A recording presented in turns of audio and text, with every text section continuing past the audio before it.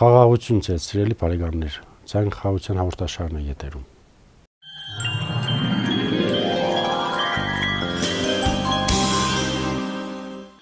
Հիսուս անցնելով Մաքսատան կողքով տեսնում է Ղևին, Մատթեոսին, որ այնտեղ գործի վրա գրված է նստած էր։ Ղևին այն մարդ էր, որ հավաքում էր դրամ հռոմեական կայսրության համար։ Պատկերացնում եք մարդուն, որ այսօր Հայաստանում ապրի եւ նստի օրինակի համար մաքսատանը եւ այդ դրամը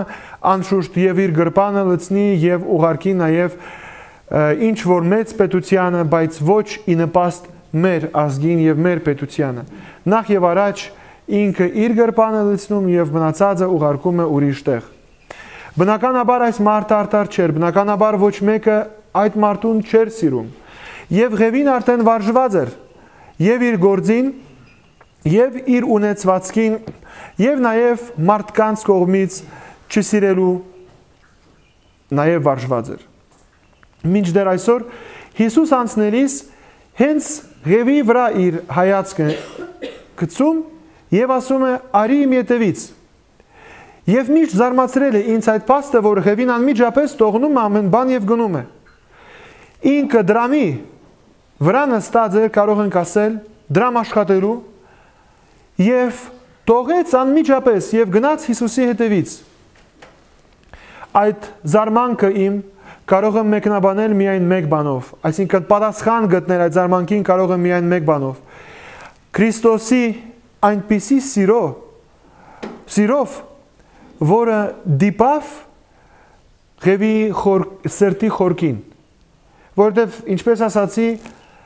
չեմ կարծում որ այս մարդը սիրված է եղել եւ մեկը վարտապետ կոչեցյալը այն եւ շատ հարկված ռաբբի վարտապետ անցներից իր մեջ տեսավ իր սրտի խորքում բարիքը տեսավ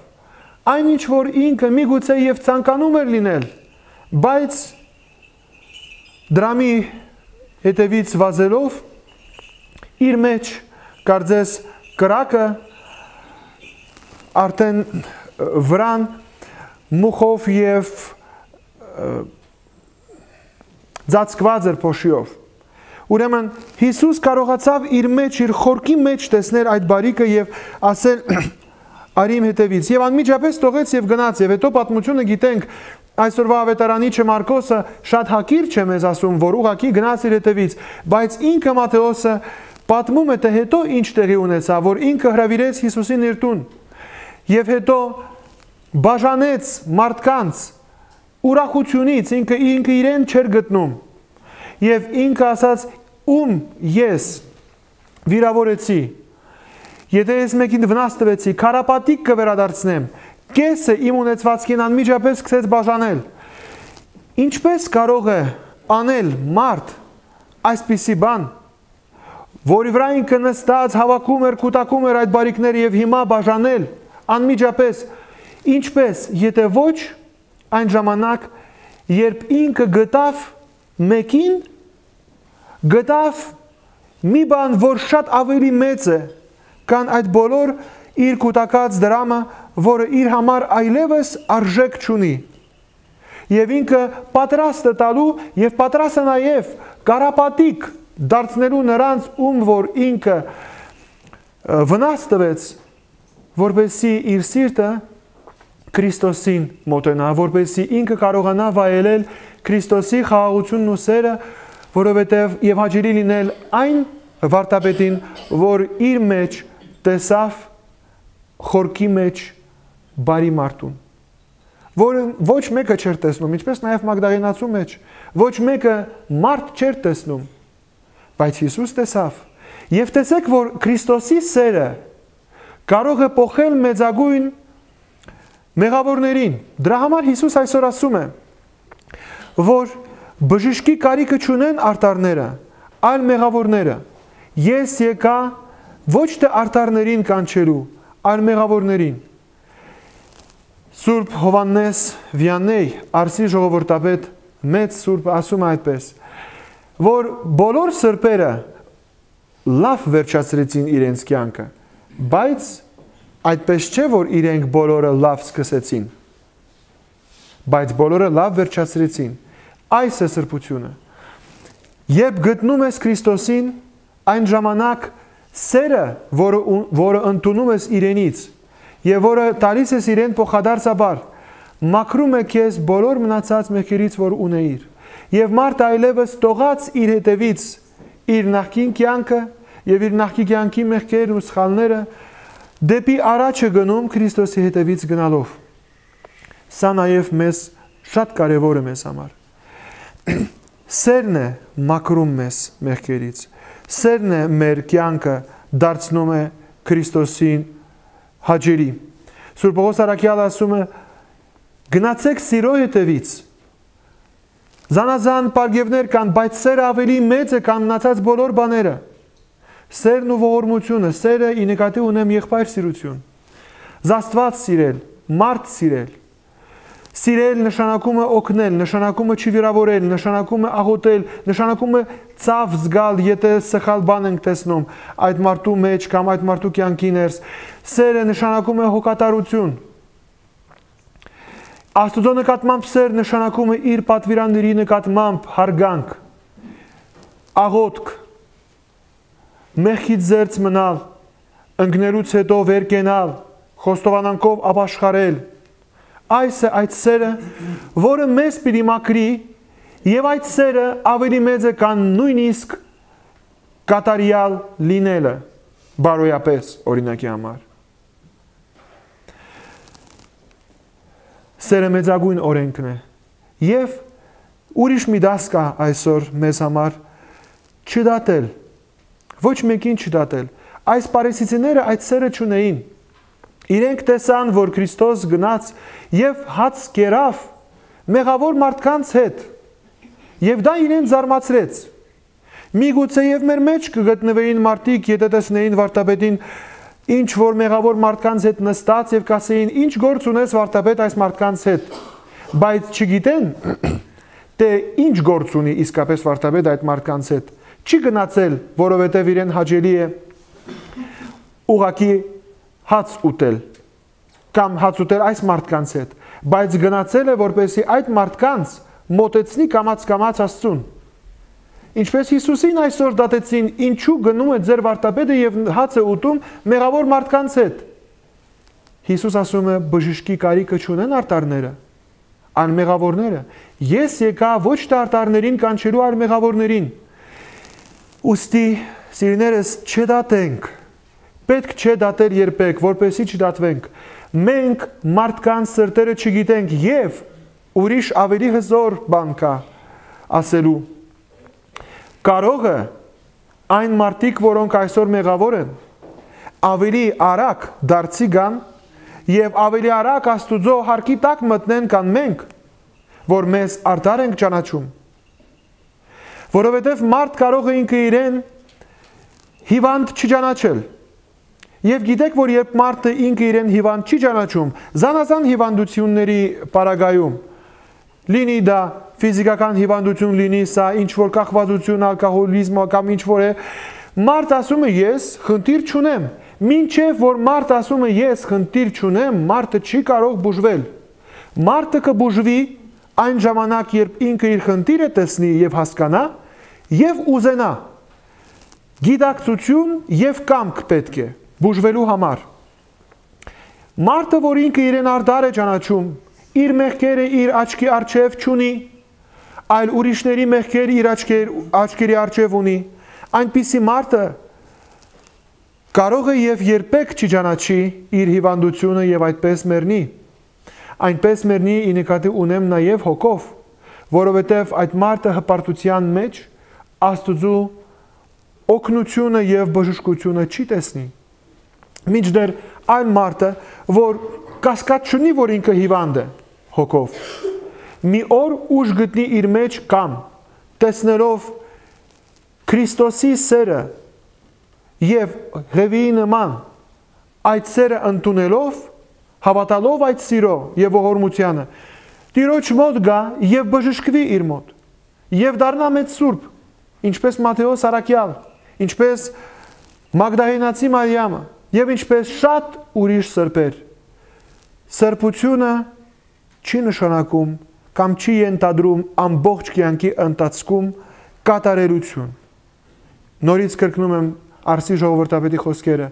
Սրբերը բոլորը չէ որ լավ սկսեցին, բոլորը լավ վերջացրեցին։ Աստված տա եւ դա հայցենք Աստուծո այսօր աղոտաբար, որպեսզի Տերը մեզ այդ շնորհը տա, որ մենք ոչ մեկի չդատենք։ Խոնար լինենք իր արչև, մեր աչքի արչև Դավիթ Սամոս 2 թակավորի պես մեր մեղքը մեր աչքի արչև միշտ ունենալով ոչ մեկի չդատենք, այլ մեզ համար բժշկությունը հայցենք։ Ամեն։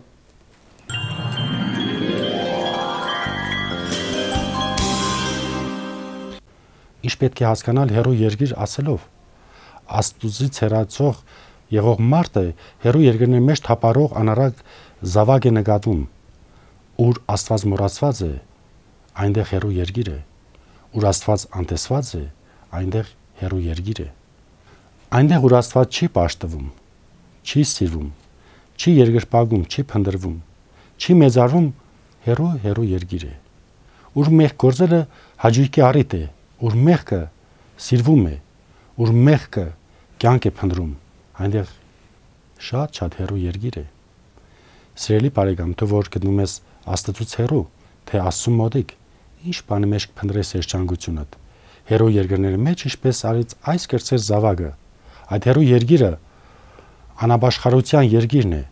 անավատության երգիրն է, անբարորության երգիրն է, ակաության երգիրն է։ Չես կարող երջանկություն եւ ուրախությունը գտնել ապրված անաբաշխար, անհավատ, անբարո եւ դրամասեր կյանքի մեջ։ Հերո մի երգիր գնաց։ Սուրբ Հովանես Ոսկիպերան ասում է. անարակ որդին տեղով չէ որ հեռացավ իր հորից, այլ սրդով։ Այս իմաստով մի սիրտ, որ չի պապախում Հիսուսի սիրով, այդ սիրտը հերո երկրի մեջ է գտնվում։ Մի հոգի, որ չի ցանկանում երկինքը, մի հոգի, որ հայացքը չի ուղում դեպի երկինք եւ դեպի երկնայինը, այդ հոգին հերո երկրի մեջ ապրող հոգի է։ Մի միտք, որ չի խորտացում, չի մտածում հավդենական ու հավդենականության մասին այդ միտքը հերու երկրի մեջ թափարող միտք է։ Կյանքը, որ լեցուն չէ Սուրբ Հոգով եւ Քրիստոսի ուրախությամբ այդ կյանքը հերու երկրի մեջ ապրող մի կյանք է։ Երկու ворթիների աշկը դուրսն էր։ Երկուսն էլ իրենց ուրախությունը դրսում էին փնտրում իրենց բարեկամների հետ։ Գրծերը հորից պահանջեց իրեն ընկած բաժինը եւ այն առնելով հերու երգիր գնաց իսկ երեցը հոր ասաց. նույնիսկ մի օր չտվիր ինձ, որ ուրախանամ բարեկամներս հետ։ Բարեկամներս հետ բարերը բարձեն, որ երեց որդին թեպետ հոր հետ նույն տան մեջ էր, բայց իր ուրախության առարգան ոչ թե հայրն էր եւ ոչ թե հորնական տունը, այլ արտակին աշխարհը, դուրս ապրող բարեկամները։ Ինչու կրսեր որդին հեռացավ իր հորից հեռացավ, որովհետև կարծում էր, որ իսկական երջանկությունը, իսկական ազատությունը եւ ուրախությունը գտնում են իր հորնական տնից դուրս,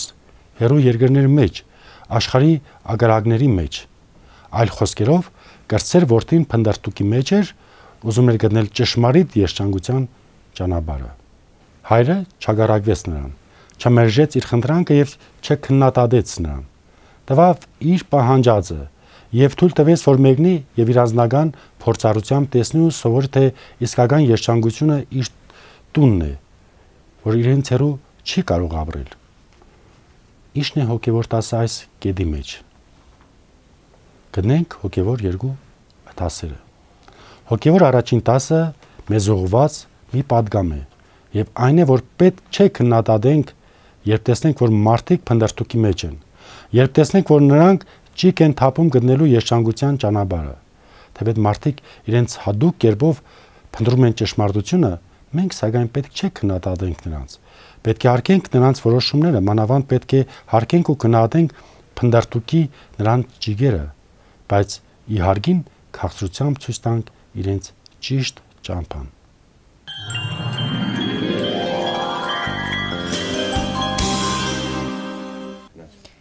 Բարև ձեզ։ Դուք դիտում եք եկեղեցական լուրերը։ Ավետարանական երանիները Հիսուսի դիմանկարն են, նրա կենսակերպը։ Այս առանցքի շուրջն է պատտվել Ֆրանցիսկոս Սրբազան քահանայապետի օգոստոսի 6-ի ընդհանուր ընկնդրության վարտապետությունը։ Նա խնդրել է իր խոսքը լսելու եկած բոլոր ներկաներին միշտ կարդալ Մատթեոսի ավետարանի 5-րդ գլխում գրված երանիները եւ դրանք ընդունել որպես երջանկության ճշմարիտ ճանապարհ, որով կարելի է քայլել Քրիստոսի շնորհի օգնությամբ։ Երանիները այն նորույթն էր կամ նոր օրենքը, որ Հիսուս տվեց մարդկանց, ասել է Սրբազան քահանայապետը։ Հիսուսը մեզ տվեց նաև այն սկզբունքները, որոնցով բոլորս պետք է դատվենք։ Մատթեոսի ավետարանի 25-րդ գլխում գրված պատվիրանները կարիքավորների մեջ Հիսուսին տեսնելու եւ նրանց օգնելու պարտավորության մասին։ Վերջին դատաստանի ժամանակ Աստված մեզ ճանաչելու է այն պայմանով, որ նախ մենք իրեն ճանաչենք աղքատների, սովյալների, արհամարվածների եւ տարապյալների մեջ։ Սա է այն հիմնարար սկզբունքը, որով պետք է ստուգվի մեր քրիստոնեական կյանքը, համոզված է քահանայապետը։ Դրանք པարզ, բայց որոշակի սկզբունքներ են, որոնցով ինքն ամեն օր քննում է իր խիղճը, խոստովանել է քահանայապետը, եւ կոչ արել նույն կերպ վարվել։ Նոր ուխտը հետևյալն է. ինքներս մեզ ճանաչել Հիսուսի մեջ, ապարուրված Աստծո ողորմածությամբ։ Սա է մեր սրտերը լցնում ուրախությամբ եւ մեր կյանքը դարձնում մեր եղբայրների հանդեպ Աստծո սիրո մի գեղեցիկ եւ վստահելի վկայություն։ Այսպես է իր խոսքն ավարտել քահանայապետը։ Շատ առանցքային է Սրբազան քահանայապետի օգոստոսի 5-ին խորանի արչև սպասավորող մոտ 50000 երիտասարդներին ուղղված խոսքը։ Ինչպես հասկանալ ազատությունը, ինչպես ճիշտ գործածել այն։ Սիրելի երիտասարդներ, ձեր ազատությունը իջարս մի գործադրեք։ Մի փչացրեք ձեր արժանապատվությունը որպես Աստծո որդիներ։ Եթե հետևեք Հիսուսին եւ նրա ավետարանին, ձեր ազատությունը կծաղկի ու բարի եւ առատ պտուղ կտա։ Ասել է քահանայապետը։ Աստված ուզում է, որ մարդն ազատ լինի եւ իր ազատ կամքով ընտրի Աստծո կամքը կատարելու ճանապարհը։ Մարիամի օրինակով երիտասարդները կարևոր դեր ունեն միշտ խոսել Հիսուսի մասին իրենց շրջապատում, ոչ միայն իրենց համայնքներում, այլև հատկապես համայնքից դուրս։ Ինչու? Որովհետև երիտասարդներն իրենց քաջությամբ, խանդավառությամբ, ավելի հեշտությամբ կարող են ազդել Աստծուց խորթացած մարդկանց մտքերի ու սրտերի վրա։ Երիտասարդները պետք է իրենց ընկերներին փոխանցեն Աստծո սերը։ Երիտասարդներից մեկը հարցրել է, թե ինչպես կարելի է եկեղեցուն ծառայելը ճիշտ համատեղել այլ գործերի հետ։ Պապը պատասխանել է, թե հարկ է միայն ճիշտ կազմակերպել ժամանակը, հստակ կանոններով ապրել որոնք ոչ թե սահմանափակում են ազատությունը, այլ թույլ են տալիս այն լրիվությամբ ապրել։ Միայն Աստծո կամքին հետևելով կարող ենք հաջողվել եւ լինել աշխարհի լույսը եւ երկրի աղը, շեշտել է քահանայապետը։ Զմարի պատրիարքական գղերի միաբանության դիվանի հաղորդագրության համաձայն օգոստոսի 4-ից 9 Զմարի վանքում կազմակերպվել է միաբանական ժողով նախագահությամբ Տանն Կիլիկիո կաթողիկե հայոց ամենապատիվ Տեր Ներսես Պետրոս 19-րդ կաթողիկոս պատրիարքի եւ վարչությամբ Միաբանության պատրիարքական փոխանորդ Գերապայծառ Գաբրիել Թագադիր Ծայրագույն վարդապետ Մուրադյանի։ Ժողովին մասնակցել են Միաբանի եպիսկոպոսներ, վարդապետներ։ Այս ժողովը բացառիկ է, քանի որ գումարվել է Միջին Արևելքի այս տագնապալի օրերին, երբ քրիստոնյաները բռնության եւ հալածանքի են ենթարկվում քննարկվել են հայ կաթողիկե եկեղեցու զմարի պատրիարքական կղերի միաբանության եւ հայ ժողովրդի արչև ծառացած բազմատեսակ մարտահրավերներ, որոնք վերաբերում են եկեղեցական հասարակական խնդիրների, ասված է հաղորդագրության մեջ։ Իմ մասնավորի ժողովի օրակարգում դրված են եղել միաբանության եւ թեմական առաջնորդությունների միջև հարաբերությունների մշակման անհրաժեշտությունը, միաբանական ներքին կյանքի հարցերը, քահանայական կոչման տագնապը ներկայում, միաբանության հովվական առաքելությունը Հայաստանում։ Ժողովի ընթացքը կամփոփվի օգոստոսի 12-ից 14-ը։ Ժողովի բացմանն իր խոսքում ամենապատիվ հոգևոր տերն անդրադարձել է, որ ժամանակն է, որ հայ կաթողիկե եկեղեցին զմարի միաբանությունը իր հոգևոր կյանքի զարթոնքն ապրեն։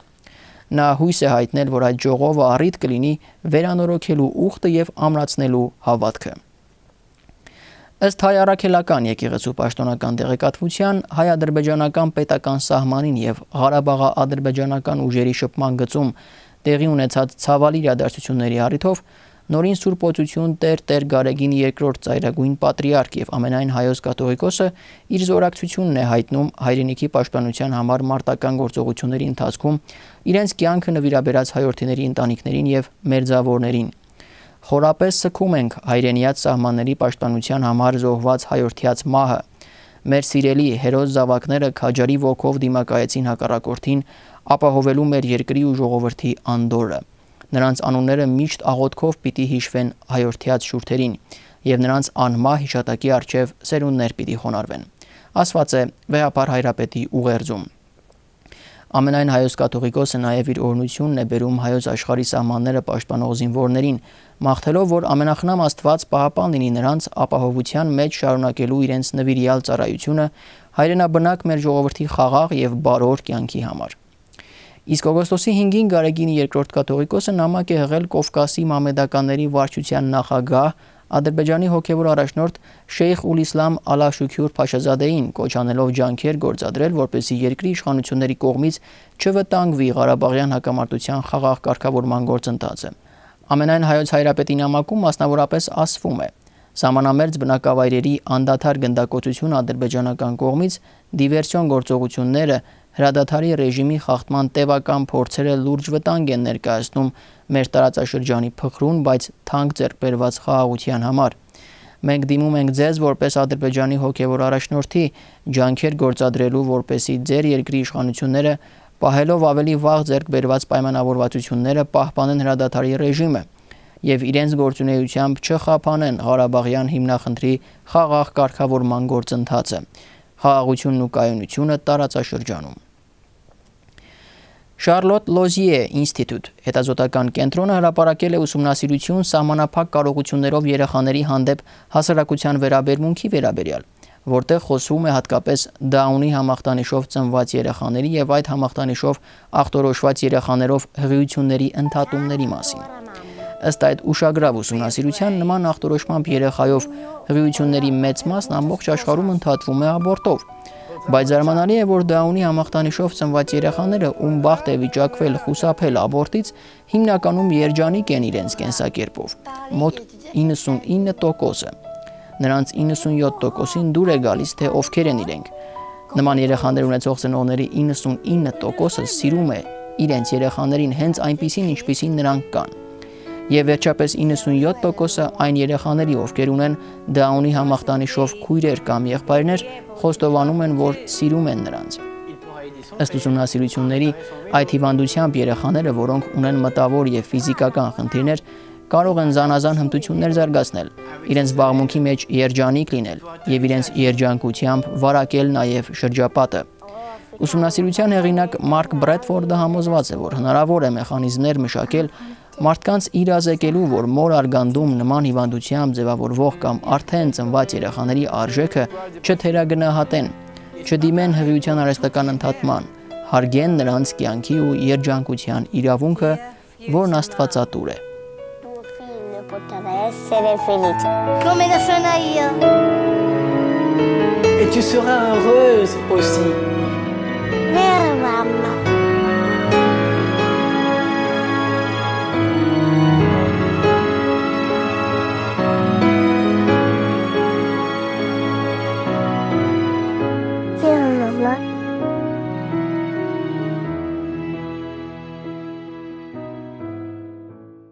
Մնացեք լավատեսությամբ եւ հույսով։ Աստված ձեզ հետ։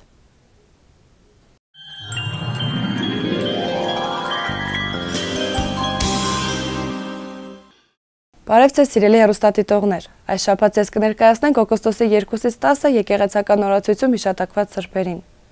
Նրանք բազում չարչարանքներ են կրել հանուն իրենց հավատքի։ Գիտակցելով քրիստոնեության վեհությունը ենթարկվել են անասելի տանջանքների եւ նահատակվել զոհաբերելով իրենց կյանքը։ Երկուշաբթի օրը օգոստոսի 4-ին Սուրբ Կուպրիանոս եպիսկոպոսի եւ Հուստիան Էկույսի եւ Փիմե Կույսի եւ 45 վկաների եւ Քրիստինե Կույսի հիշատակության օրն է։ Կիպրիանոսն ապրել եւ գործել է 3-րդ դարում։ Նույն քաղաքում էր բնակվում նաեւ մի քուրմի դուստրը, Հուստիանո անունով, որ քրիստոնյա դառնալով ճշմարիտ հավատի է բերում նաեւ իր ծնողներին։ Ստանալով կռապաշտ իշխանի ամուսնության առաջարկը մերժում է, պատճառաբանելով, որ ինքն արդեն Քրիստոսի հարսնացուն է։ Իշխանը խնդրում է Կիպրիանոս Մոգի աջակցությունը, սակայն վերջինս ազդվելով կույսի կերբնական ուժից քրիստոնյայի մկրտվում եւ կար ժամանակում եպիսկոպոս է դառնում։ Իսկ Խուստիանեն ծառնատրվում է սարկավագուհի։ Եվ Փիմեն քրիստոնյա ընտանիքի զավակ էր եւ իր ողջ կյանքն աստուն ծայելու համար կուսության ուխտ էր արել։ Նա իր 45 ընկերուների հրաժարվում է քաղաքի հետանոց աստվածներից մեկի պատվին կազմակերպված հանդեսին մասնակցելուց եւ թաքնվում է։ Հայտնաբերվելով եւ այցյան տարվելով Եփիմեի ընկերուները տեղում սրախոխող նահատակվում են։ Իսկ նա դաժան կտակների ենթարկվելով նետվում է գազանների մոտ, որտեղ աստծո օգնությամբ անվնաս է մնում։ Սակայն կերադասելով մեռնել գազանների ժանիկներից քան մարդկանց չարությունից, խնդրում է Աստծուն եւ այդպես էլ մարտիրոսանում։ Քրիստինե կույսը Փյունիկիայից էր, կառավարչի դուստր։ Բարձր աշտարակ կառուցելով եւ ոսկե ու արծաթ կուրքեր տեղադրելով հայրն իր դերատի դստերը կարկում է քրմուի։ Բայց Քրիստինեն երկնային ներշնչումով ըմբռնելով քրիստոնեության վեհությունը փշրում է կուրքերը, վաճառում դրանք եւ գումարը բաշխում աղքատներին։ Դրա համար նա անասել է չարչարանքների ենթարկվում եւ նահատակվում։ Երեքշաբթի օրը օգոստոսի 5-ին Սուրբ Աթանակինը եպիսկոպոսի եւ նրա 10 աշակերտների նահատակության հիշատակության օրն է։ Սուրբ Աթանակինը եպիսկոպոսը ծնվել է Սեբաստիա քաղաքում, քրիստոնյա ծնողների ընտանիքում։ Բարսրբոցը պատմում է, որ իր աղոթքով եւ գավազանով հաղթելով քաղաքի բնակիչներին նեղություն պատճառող մի վիշապի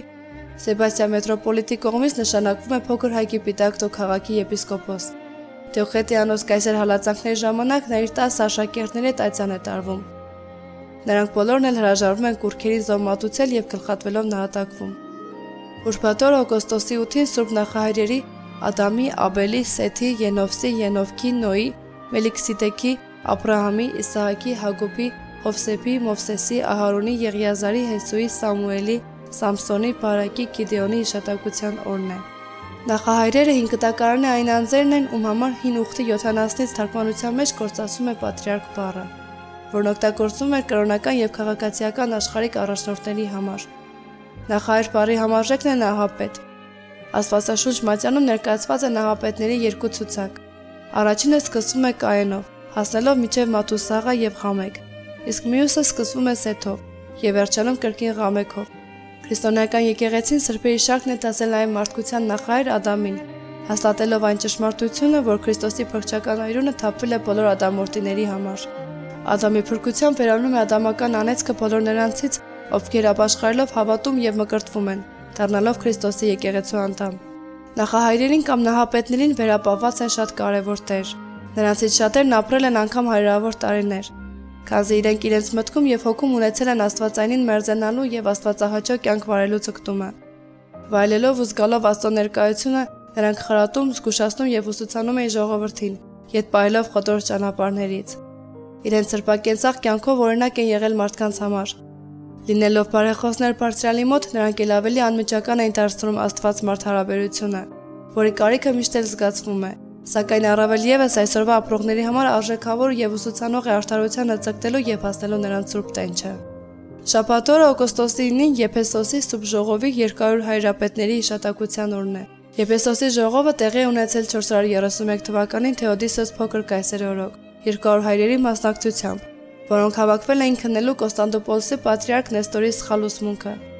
Այս ուսմունքի համաձայն Հիսուս Քրիստոսի մեջ գոյություն ունեն երկու անկախ միմյանցից հակադիր բնություններ՝ աստվածային եւ մարդկային։ Նեստորը քարոզում էր, որ Քրիստոս ծնվել է որպես հասարակ մարդ, ապա աստվածությունը բնակվել է նրա անձի մեջ։ Հետևաբար Սուրբ Կույս Մարիամը ոչ թե աստվածածին է, այլ մարդածին։ Եփեսոսի ժողովը դատապարտում է Նեստորի վարդապետությունը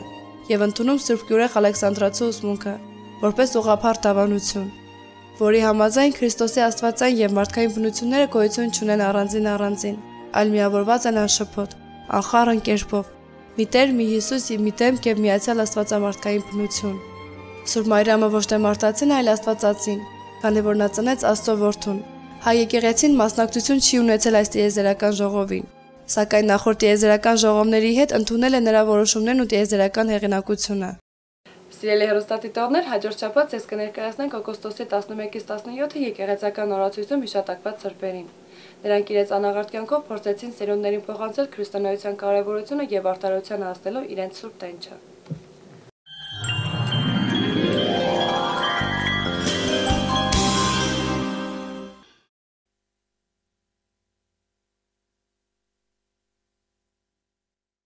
Հուլիսի 17-ին Երևանի Սուրբ Գրիգոր Նարեկացի ժողովրդապետության աղոթասրահում տեղի ունեցավ Հայաստանի, Վրաստանի, Ռուսաստանի եւ Արևելյան Եվրոպայի հայ կաթողիկեների առաջնորդական փոխանորդ Հայր Մեսրոպ Ծայրագույն Վարդապետ Սյուլահյանի թագադրությունը, որին ներկա էին նաեւ նախորդ 3 օրերում տեղի ունեցած եկեղեցական հաղորդակցության միջոցների համագումարի մասնակիցները։ Նախքան հոգևոր աստիճանի մասին խոսելը տեսնենք թե ով է Հայր Մեսրոպը։ եւ ինչպիսին է նրա հոգեվորված տակը։ Հայր Մեսրոպ ծայրագույն վարդապետ Սյուլահյանը ծնունդով Սիրիայի Հալեբ քաղաքից նախնական կրթությունն ստացել է Հալեպի Հայկազյան վարժարանում, ապա ուսումը շարունակել Լիբանանում, 1 տարի անց մեկնել Վենետիկի Սուրբ Ղազար կղզի, ուսումնառությունը շարունակելով Մխիթարյան միաբանության մայրավանքում։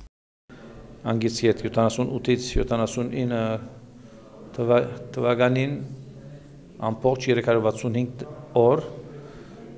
ռելեմ միամյա նորընձայություն, որոնց ընթացքին սովորել եմ հոգևոր կյանքի սկզբունքները ավելի եւս խոր գերբով Մխիթարյան Միապանության նվադագը կորզունեությունը, որ մեի հետ ուխտել եմ երամյա ուխտ ժամանակավոր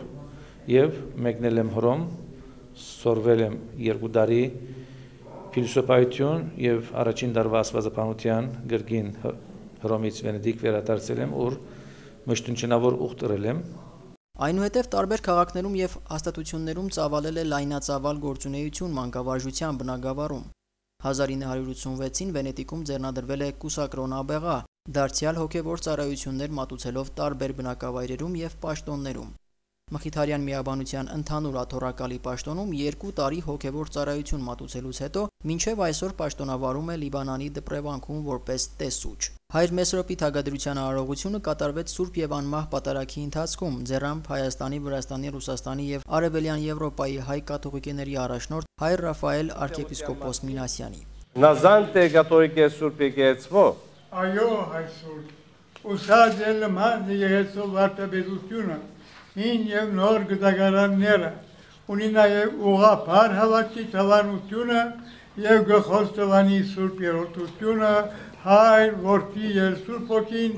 իբրև համակոյագից աստվածություն։ Ես հայր Մեսրոպ Սուլահյան հաստատ հավատքով գտնունիմ եւ գտաբանիմ սուրբ ճշմարտությունները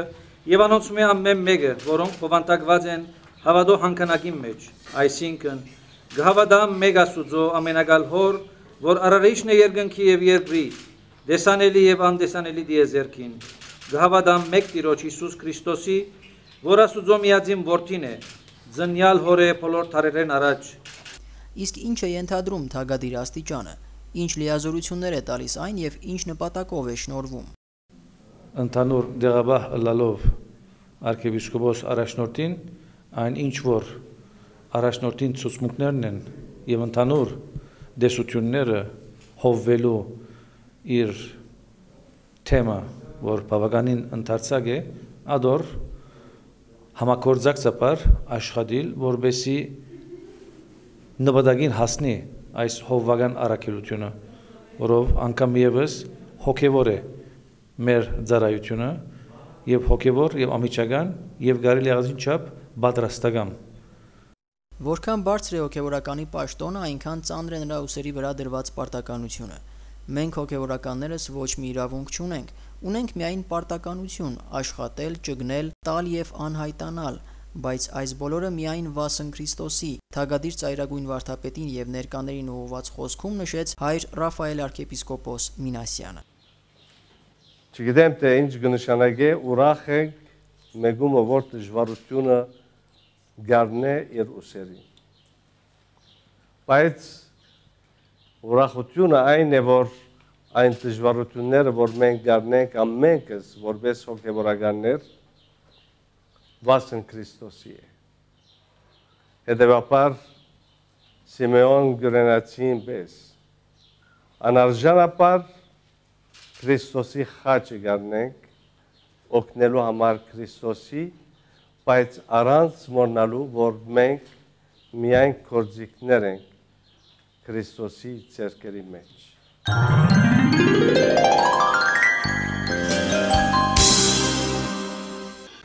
Մեր հաղորդումը մոտեցավ իր ավարտին, սիրելի բարեկամներ։ Աստծո սերը եւ խաղաղությունը թող մնա ձեր հետ։